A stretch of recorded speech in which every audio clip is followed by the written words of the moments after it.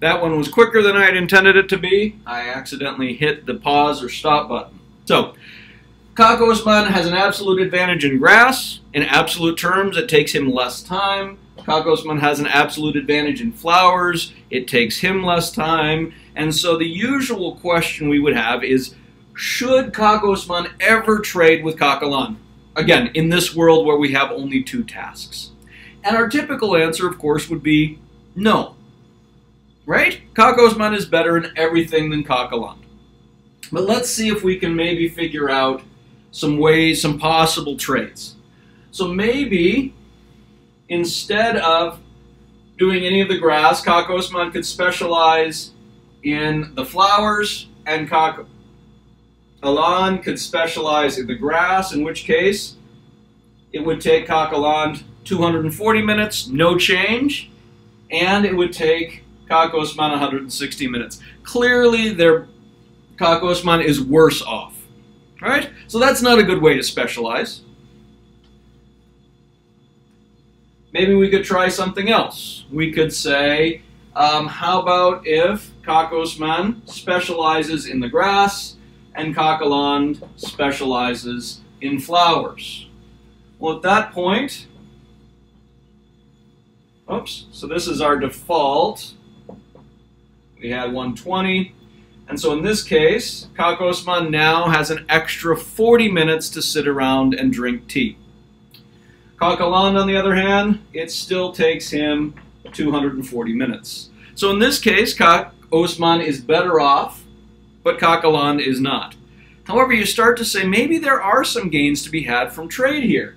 Somewhere in here, Kak Osman has managed to save himself 40 minutes of time.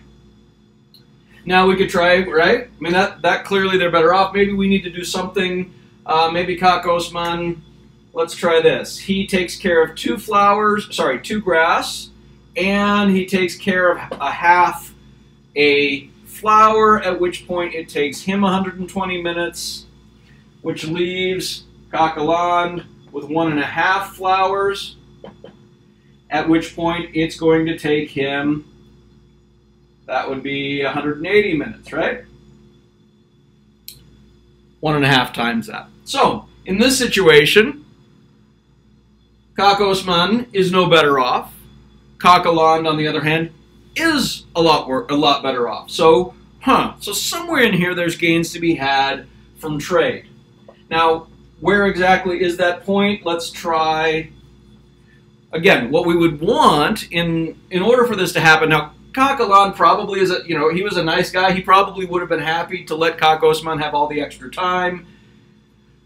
Kak Osman was a pretty decent guy as well. He probably would have let Alon have all the gains from trade.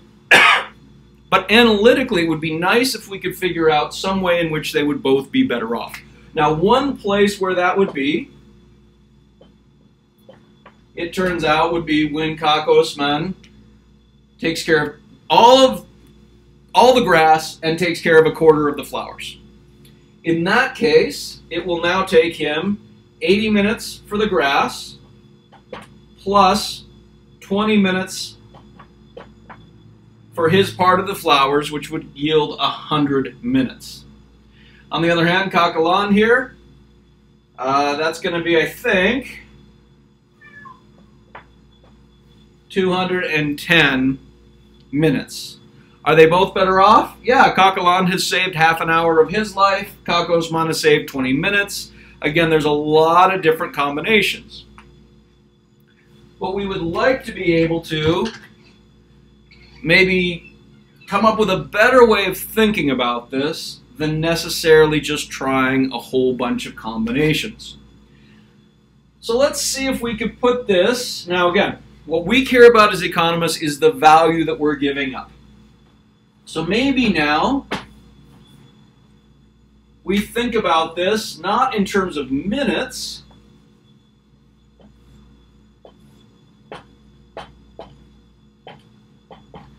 but in how much of the other activity we give up. So here we had 40 and 80, 120, and 120. Right? So when Kak Osman takes care of the grass, how many flowers does he give up?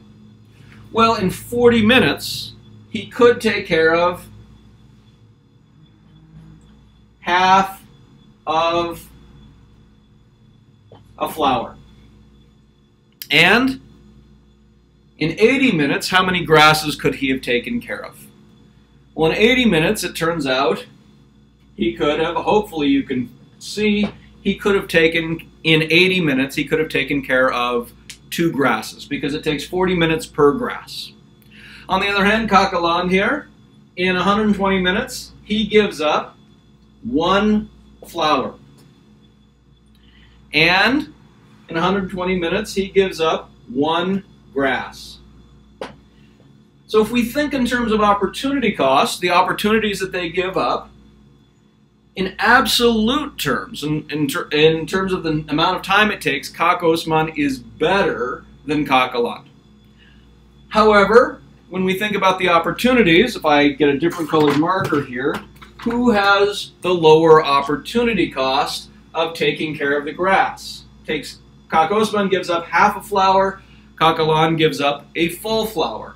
So it makes sense that Kaka Osman has the comparative advantage in terms of opportunity cost, comparing them, comparing how long it takes them and the time and energy to the other things they could be doing, and then comparing them to each other, we now have a situation where Kaka Osman is better at the grass. Now that's not too surprising. That's what we came up with before we got into all of this. In absolute terms, Kaka Osman is better, and in comparative terms, Kaka Osman is better. However, now when we get down to the flowers, it takes Kaka Osman two grasses to take care of one flower. On the other hand, it takes Kakaland one grass to take care of a flower. So now who is better at that? Who is more effective, more efficient? Who has a, an advantage? In this case, Kakaland has the advantage. So we could say he, right, in comparative terms, compared to the other things he could be doing, and then compared to Kaka Osman, Kakaland is the best in taking care of the flowers.